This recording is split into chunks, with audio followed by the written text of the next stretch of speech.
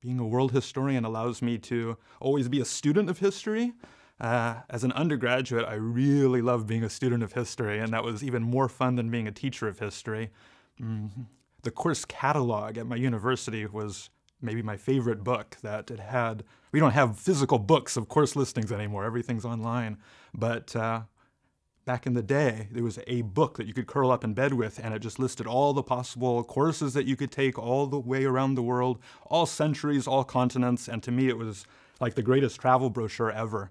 Um, and as a world historian now, I can yeah, travel everywhere. Uh, life is short and the world is large, so I can be a student of world history um, forever, at least for as long as I exist. Mm, and then religion was important to me because it's important to people.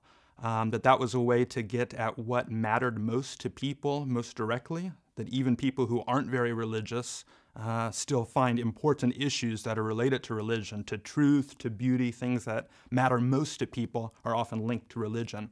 So a world history, a world historian of religion, um, this allows me to have a maximum breadth and then I think also maximum depth to get to, to the heart of matters and to the hearts of people. Where we were visiting tombs of sultans from the 16th and 17th centuries.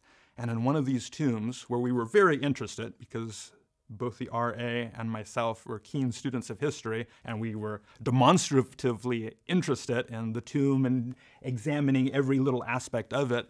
Uh, eventually, the guardian of the tomb walked up to us and said, Do you guys want to see the real tomb?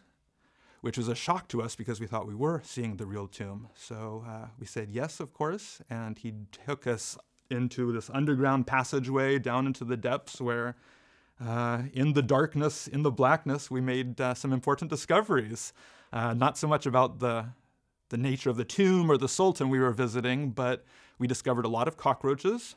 We discovered that the RA had a deep fear of cockroaches, and we discovered that almost anything in history, if you go a little bit deeper down, you can discover something new.